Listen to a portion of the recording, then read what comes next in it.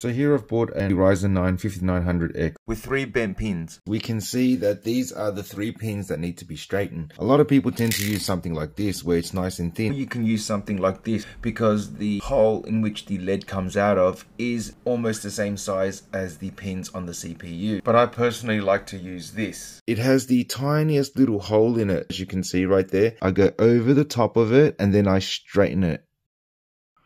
We'll go down to where it needs to be straightened and then we just bend it straight up. Make sure that it is straight from all angles. These two pins here need to be straightened a little bit more. And that looks pretty good now, guys. Do a test run and let's make sure this CPU still works. Our test bench setup is the CPU, the 5900X, literally sat right in.